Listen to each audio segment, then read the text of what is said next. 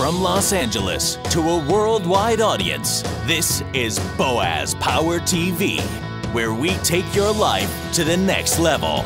Now, internationally known speaker and author, here's Boaz. Hi, welcome to the Power Show. You are part of the Power Nation, and I am delighted that you're here because here we help to improve your attitude, your relationships, your finances, and your career. By the way, attitude wise, when people ask you, How's life? How's business? Why not use one word? Unbelievable. With enthusiasm, nobody will know what you're up to, but they'll think you're doing great. At least you'll be alive. Everybody else looks like they're dead and they ought to be buried. I want you to be alive so people will think great things about you, your life, and your success. This is episode number 78 on Boaz Power TV, and it's called Stepping Up to the Wailing Wall. Stepping Up to the Wailing Wall.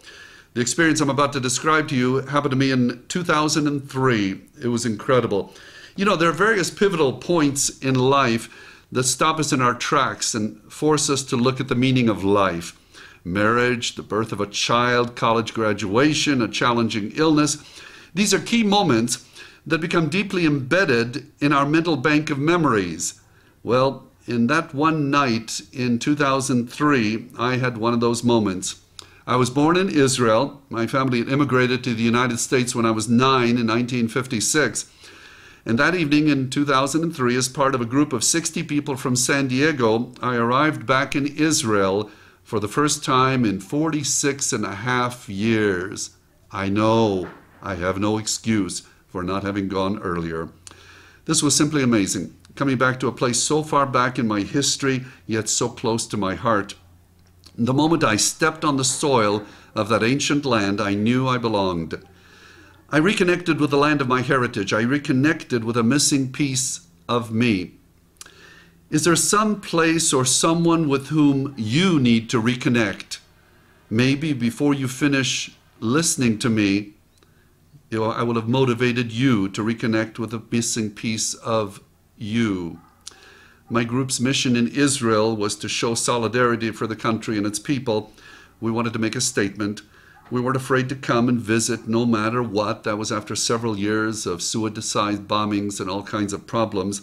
Amazingly, there was a calm and peaceful feeling in the country. From the airport in Tel Aviv, our group was driven by tour buses to Jerusalem. Our plane had landed at 10 o'clock at night and we drove some 50 miles through the countryside and then up into the Judean hills. Now, as we began our ascent, David, our tour guide, pointed out wreckages of military vehicles at the side of the highway.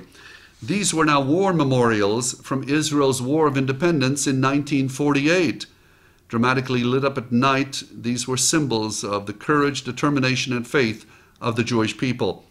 It was on May 14, 1948, that Israel was born. Five Arab armies, Egypt, Syria, Transjordan, Lebanon, and Iraq, immediately invaded the new country. Having no choice, the Jews defeated the much larger Arab forces and gave birth to their homeland. As I watched these sights on the road to Jerusalem, I couldn't help but admire the bravery that those people exemplified in 1948. I also thought about my father he fought in that War of Independence. The road to Jerusalem, as it winds through difficult canyons, was the scene of some of the toughest battles. Before long, we crested the hill, came down on the other side, and faced the gates of Jerusalem. Winding through the city, we came to a stop among ancient ruins and disembarked.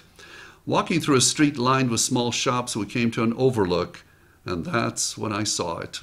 Oh my gosh, down below, across a large and well lit plaza, was the Wailing Wall, a worldwide symbol of a people who had survived incredible atrocities and created amazing victories.